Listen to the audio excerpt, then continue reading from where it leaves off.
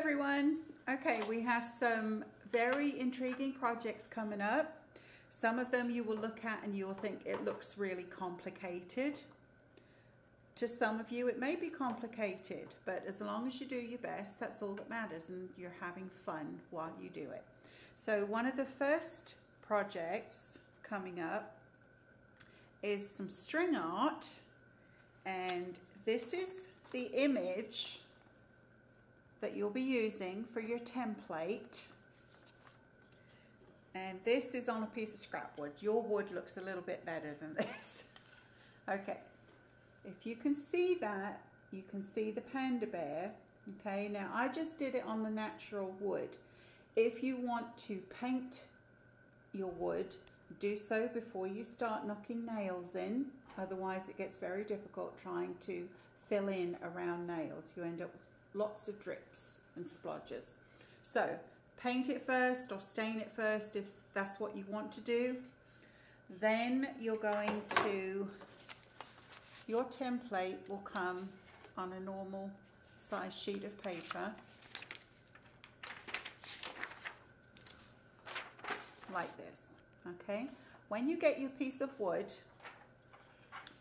let's turn this over. What you need to do is take your template, fit it onto your piece of wood so that you've got probably about a pinky's width around the edge all the way around. So you would bring this down a little bit, then you're going to crease it along the edge there. You would do the same on this side, crease it. Then you would do the same on this side run your finger along it. And then also the top. I mean, yours will have a your pieces of wood that my husband very graciously cut for you. They are all about the size of this. So once you've marked those edges, then you would go ahead and fold it in, just like I've done on this one. Fold all your edges over so that it's a perfect fit for your piece of wood. Then you'll lay it on your wood. Use some painter's tape just to tape on the edges so that it keeps it in place so that your spacing for your nails is nice and even. Okay, so you do that. Then you each get a pot of nails These are one inch nails. They have a head on them. This is the best kind of hammer to use. I like these little dinky hammers. They're quite heavy and they will do the trick. So then all you have to do is find your, go to your corners first. I know they're rounded corners. But then you need to knock your nails in. The wood that you have is a soft pine, so your nails should go in pretty easily. This piece of wood is so ancient that I had trouble, so I pre-drilled the holes. I took a drill bit that was thinner than the shaft of this nail and just drilled. You can see I've got some extra holes on here because this was my trial one so we have to try. You can just see a little hole here and there's one here. You only take the drill bit down. If you do find you need to use a drill bit use a fine drill bit and only go in just the smallest amount just to give yourself the opportunity to get your nails started okay? Then you will follow your pattern all the way around. Everywhere you see a dot on here, that's pretty much where you need a nail. You should have more than enough nails in your pot. Once you've got them all on there, then you need to pull your paper off. If you start stringing it and you haven't taken your paper off, guess what? You have a problem.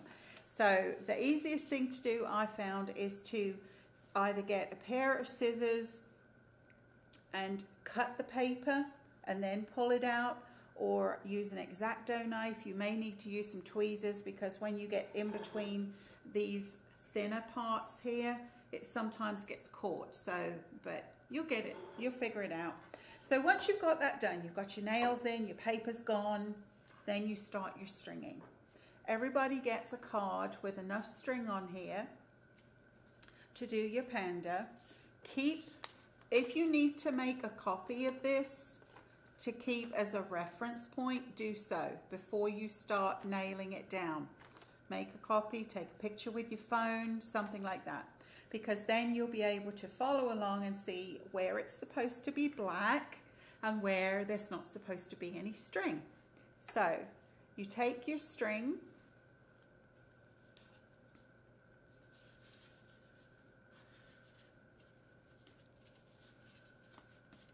and you would just make a little slip knot here just loop it and pull it through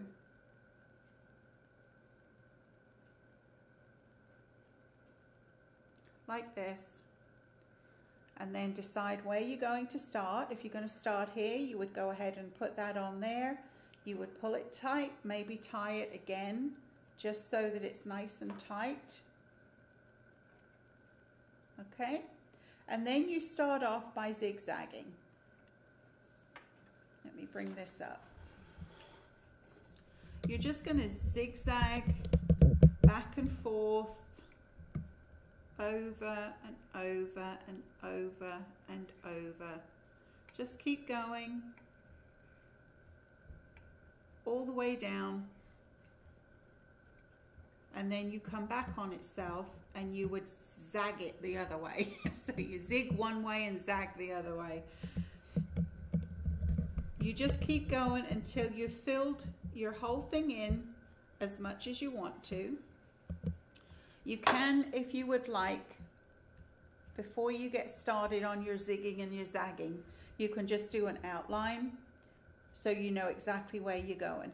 So you would just loop it on the first nail and you would just go all the way around. All the way around.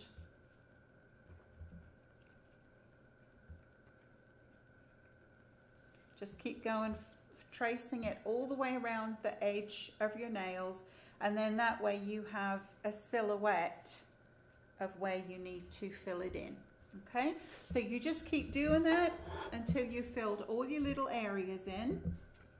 Tie it off. You can take a little dab of super glue wherever you've got your, um, your little edges there.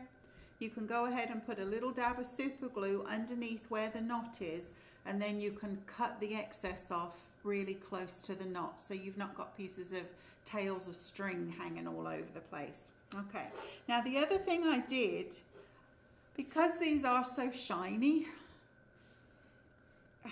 it just didn't look right. They stood out too much. So I took some black paint, just some ordinary black acrylic paint.